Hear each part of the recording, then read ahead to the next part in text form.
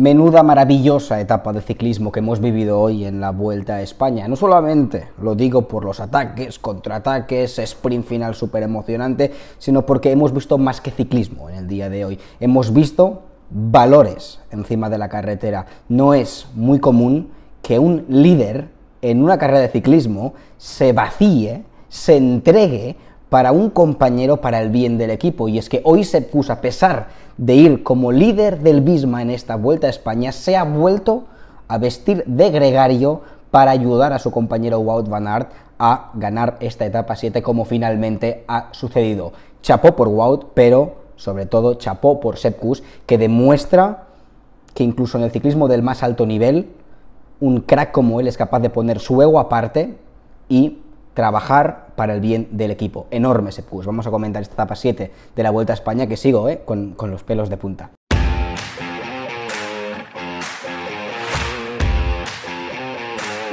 Yepa, chavales, pues cuando piensas que es imposible que Sepkus caiga mejor al público ciclista, se saca de la chistera una actuación altruista como la del día de hoy que hace que el público todavía le agrade más Sepp cuando ha cruzado Wout la línea de meta tras ganar la etapa, se abrazaba con Sepp y le decía inmediatamente, Sepp, te debo una, porque lo que ha hecho hoy Sepp bueno, eh, no solamente las piernas que ha tenido para cerrar el movimiento de Marc Soule, que esto ha sido impecable, eh, en plano Sepp neutralizando a Marc Soule, la capacidad rodadora de hoy de Sepp nos ha dejado asombrados, pero yo no me quedo con las piernas de Sepp, me quedo con la actitud de Sepp que tiene los galones en esta Vuelta a España de ser líder de equipo y hoy se ha olvidado de galones, lideratos y historias y se ha vestido por un día de gregario para el bien de Wout para el bien de su equipo Bismarck y que deben, bueno, deben estar, ya lo estaban contentos con, con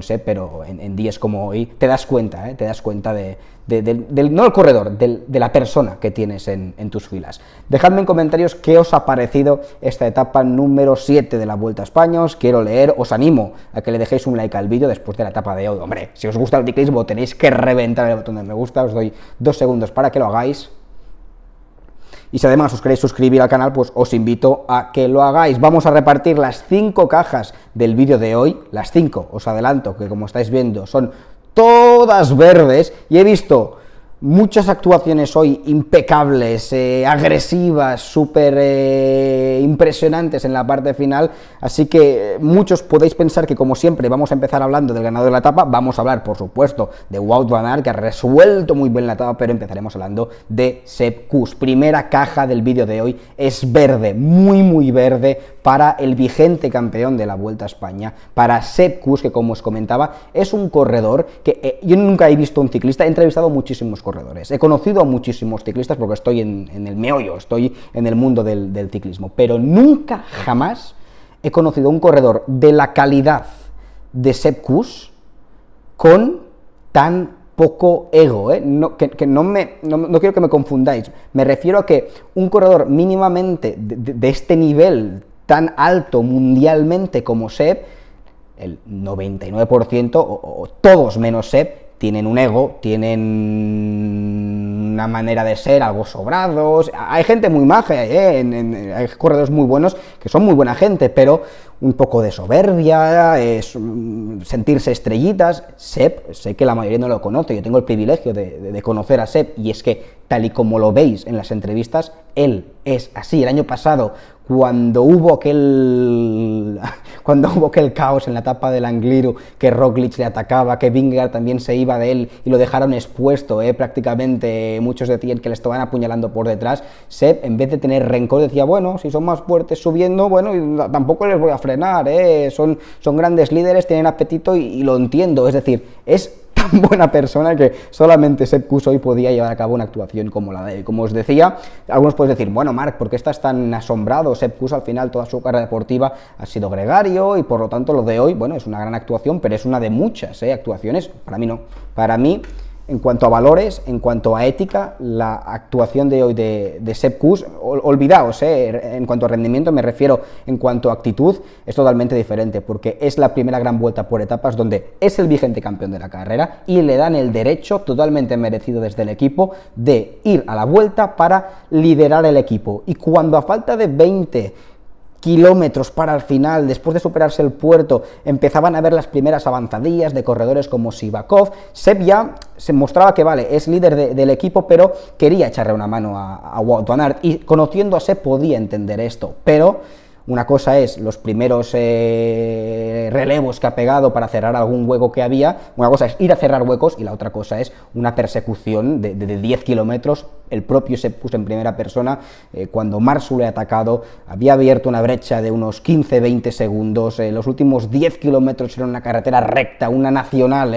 recta donde llevaba todo el mundo a su rueda y en vez de decir, bueno, voy a colaborar un poco para ayudar a, a Wout, pero que también aquí se involucren otros equipos, porque yo no me voy a quemar eh, todo el día, no voy a ser yo el único que, lleve eh, la, persecución, porque al final vengo a esta Vuelta a España a jugarme el podium y tiene eh, posibilidades de, de, jugarse el podium, pues no, no, se ha olvidado del podium, se ha olvidado de hidratos y se ha remangado y ha tirado para Wout van Aert como si no estuviese en esta Vuelta a España para disputar la clasificación general. Yo no conozco ningún ciclista, no me viene a la cabeza ningún ciclista que por muy buena persona que sea, ¿eh? hay muchos ciclistas que son grandes personas, pero con las circunstancias con las que está hoy Sepp hoy se hubiesen arremangado tanto, ¿eh? hubiesen algunos trabajado, pero eh, se hubiesen apartado un poco más pensando a nivel individual, siendo un poco egoístas. La palabra egoísmo encima de la bicicleta, Sepp no la conoce. Enorme Sepp, pero después se tiene que rematar y Wout van Aert hoy no ha hecho prisioneros y después de que Sepp le dejase en bandeja de plata el triunfo de, etapa ha resuelto y se han puesto en, el sprint eh, final. Comentaba Wout cuando le, decían, ostras, eh, Sepp impecable, pero si no es por Sepp, hoy cuál, era el plan, porque estabais solos ante, ante el peligro. y contrarrestaba Wout al, entrevistador, le decía, sí, cierto, hoy se, se, ha salido, pero es que no nos imaginábamos que en el último puerto del día de hoy se hiciese tanta sangre. El equipo Red Bull, como en, el último puerto se subía, aquí estás viendo el perfil, se subía un puerto, no sé si era de segunda, primera categoría, era un puerto no excesivamente duro, pero tenía su dureza y en la cima del puerto habían segundos de bonificación, 8 segundos de bonificación que finalmente ha sido Primo Roglic quien se los ha llevado. El Red Bull que sabía que Roglic tiene este rush bueno para sprintar y ganar bonificaciones, desde abajo del puerto se han puesto muy muy fuertes y han empezado a preparar este sprint de, que había en, la cima para que pues, eh, Roglic sprintase y se llevase la bonificación como finalmente ha sucedido. Pero ¿qué ha pasado? Que en el ritmo que estaba imponiendo Red Bull con corredores como Aleotti, Daniel Felipe Martínez o el propio Alexander Blasov, que cuando se pone a tirar en montaña hace muchísima sangre, por el camino se ha quedado muchísima gente, ha quedado un grupo súper reducido. Y del equipo Visma que en estos 30 corredores que sobrevivían al puerto, solamente quedaba Sepp el líder del equipo, y Wout van Aert, que hoy chapó porque se ha subido rápido y, ha aguantado, ¿eh? síntoma de que, está, de que está muy fuerte. Pero otros corredores que hoy tenía Bisma planeado que trabajasen en la fase final de la carrera como Kreisbike, como escaladores, como al final son Attila Walter o Kian Udebrooks, todos estos se han quedado, ¿eh? se ha quedado en eh, Bragas el equipo Bisma Bike totalmente expuesto y era un marrón que en los últimos 30 kilómetros después de coronar solamente estuviese Sepkus para para controlar la carrera y para trabajar para Wout. ¿eh? Se les ha puesto cuesta arriba la carrera, pero después ya os digo, eh, Kus eh, hoy parecía un gato, tenía siete vidas, ¿eh? no se cansaba de tirar y se puso hoy, ha, llevado a cabo el trabajo que otros, en otro equipo dos o tres ciclistas conjuntamente no hubiesen podido hacer. Así que este era el plan de Visma, se ha subido muy rápido, después eh, cuando el grupo ha quedado reducido han empezado estos primeros ataques y a la que se ha formado el ataque de, de Marsulé estaba contra las cuerdas, eh, el, propio, el propio Wout van que ha tenido que confiar en, en para, que le, echase bajo y después él pudiese en primera persona batir eh, a todos sus rivales en el sprint final. Bueno, muy buen Wout que solidifica el maillot verde eh, se lleva para la buchaca, eh, su segunda etapa parcial en esta Vuelta a España. Caja verde para el equipo UAE, que no tenían un Wout van Aert en el equipo, no tenían un corredor especialmente rápido, pero lo que sí que tenían eran muchos efectivos. Eh. Cuando se coronaba el último puerto, como os comentaba, que se ha ido a mil por hora, todos los equipos tenían uno, dos, Red Bull quizás tenía tres ciclistas porque quedaban pocos pocos miembros en el, en el pelotón, pero claro, cuando tienes el músculo que tiene UAE, era una escuadra que claramente era la que tenía más superioridad numérica, que si Almeida, que si Marsule, que si Bakov, que si Adam Yates, no sé si estaba del toro por ahí, tenían a cinco corredores más o menos, más de la mitad del equipo habían pasado el corte porque son una escuadra de miedo, ¿eh? Y pensaban, bueno, no podemos en un sprint ganar la etapa, pero lo que sí que tenemos es muchas bazas y han tratado de romper el sprint. Primera instancia con Sivakov, luego se puso a echar mano a Sivakov, luego con Marsule, se puso a echar mano a Marsule. Cuando han echado mano a Marsule, ha vuelto Sivakov eh, para tratar de romper el sprint, pero luego sí que ha sido en primera instancia Wout van Aert quien eh, se lo ha comido en, el sprint final, pero táctica impecable de la, de UAE, que en un día como hoy no les podemos exigir nada más. Y han hecho todo lo que tienen en su mano para tratar de ganar el triunfo de etapa. Finalmente no ha podido ser así, pero pueden irse de la etapa de hoy con la cabeza bien alta el equipo de los Emiratos Árabes. Saltemos a la penúltima caja, también verde, y es para uno de los ciclistas de UAE, Marc Sule, que hoy ha leído muy bien el momento del ataque, ha ganado un par de etapas en la Vuelta a España de esta misma manera, ¿eh? desde un grupo reducido, rompiendo el sprint, es un ciclista muy pícaro, me temo que hoy le han faltado las piernas. Creo que el Tour de Francia le dejó con mucho castigo y a pesar de haber elegido el momento adecuado y eh, estar en una posición ventajosa ¿eh? en la parte final de la carrera, creo que hoy traía buenas piernas, pero no hemos visto el mejor Marc Creo que el mejor Marc con las circunstancias de carrera que hemos vivido hoy, con un Sepp persiguiéndote, con cuatro o cinco compañeros cubriéndote las espaldas por detrás, hoy eh, hubiese ganado el triunfo de etapa. Creo que Marsolé, en un pulso con Sepp a su 100%, en un terreno plano como lo que hemos visto en, la fase final de la carrera, hubiese podido llevarse la, etapa. ¿eh? Pero bueno, eh, al final el sur está como está. Aplaudir, a Marc, aplaudir a Marc y otro día será, otro día será. Última caja verde para un hombre que ya suma dos cajas en esta Vuelta a España en aquí, en el canal del Sia Ciclista, y es otro conocido, ¿eh? Marc Sules, hoy hemos visto, me, ha encantado la carrera en parte porque hemos visto una carrera donde os diré que algunos de los ciclistas que tengo más relación hoy han, sido protagonistas, que son Sepp Kuss, obviamente, Marc Sules es del pueblo de al lado de donde yo vivo, así que también conozco bien a, a Marc Sules, y finalmente tercero de la etapa, ¿quién ha sido?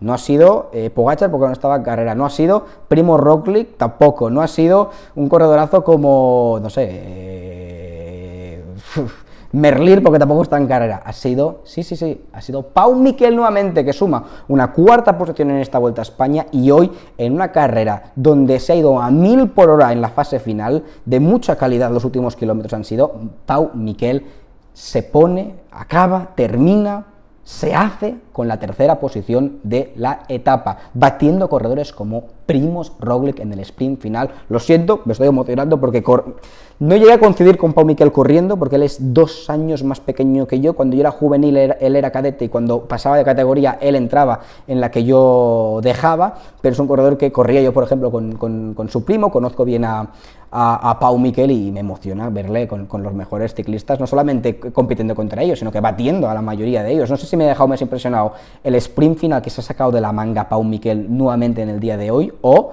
que haya pasado el corte eh, después del puerto cuando Red Bull eh, ha subido a mil por hora. Muy bien por Pau Miguel, que como, creo que está siguiendo un poquito los pasos de, un ex Kern Pharma como, como es Roger Adrià, un ciclista todoterreno que lo hizo muy bien en su etapa en Kern Pharma y esto le sirvió para ganarse un contrato en el World Tour en Red Bull. Pienso que después de esta vuelta a España le van a salir muchas novias a Pau Miquel y ojalá el año que viene eh, lo podamos ver eh, haciendo el salto al, al World Tour. Impresionante, Pau Miquel. Bueno, estas son mis cinco cajas para el vídeo de hoy. Os quiero leer en los comentarios qué pensáis de la actitud de, ese, de la resolución de la etapa de, wow, también Baekek muy bien el ciclista del, del Trek que suma otra segunda posición. Esperemos que gane este joven ciclista checo que ya también acumula dos, dos segundas posiciones. Etapa maravillosa, la primera parte aburridísima, tediosa, pero los últimos 40 kilómetros, pues yo creo que es la etapa que más he disfrutado de esta vuelta a España, seguramente por los hechos que os comentaba. Chao ragazzi. 55 seconds is countdown. He has lost the Tour de France by 8 seconds. Can you believe that?